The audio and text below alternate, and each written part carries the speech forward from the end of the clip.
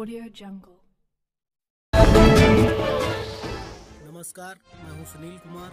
आप देख रहे हैं स्वतंत्र प्रभात न्यूज़। आइए, आपको लेकर चल रहे हैं रायबरेली जिला के बछरावा थाना क्षेत्र के अंतर्गत मलिकपुर सरैया गाँव में। यहाँ पर लगातार कई दिनों से बारिश होने के कारण यहाँ पर किसानों की फ़सल, धान की जलमग्न हो गई है।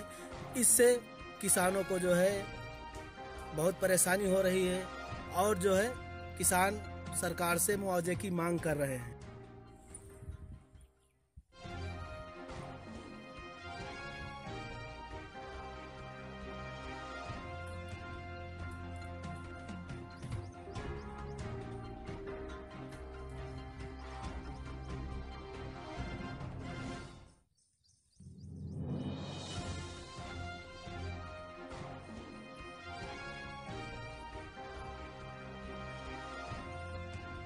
आपका क्या नाम है?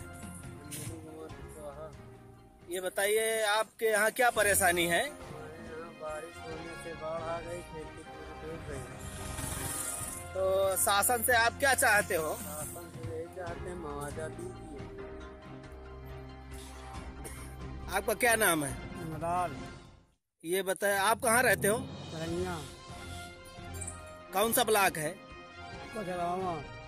ये बताइए आपके क्षेत्र में क्या परेशानी है? जल अलावा कोई गुमान नहीं कोई खेती चली गई घर गिर गए अच्छा फ़सल नुकसान हो गया। हाँ। तो आप क्या चाहते हैं शासन प्रशासन से? ये क्या चाहे मुआवजा दिए सरकार दिए कई का बच्चा दिए होगा। सहायता कर दिए सरकार आप अपना नाम बताइए। राम मिलन। किस गाँव में रहते हो? मलिकपुर सरैया ये बताइए आपका ब्लॉक कौन सा लगता है? ब्लॉक है। ये बताइए आपके क्षेत्र में क्या परेशानी है? पानी महीना निर्भर से रहा है हफ्तन हो गई और सब धान चले गए राह ठहर नहीं सब भाग रहे हैं आदमी इधर उधर एक दूसरे घर में अनाज पानी लड़का बच्चा सब धर रहे हैं।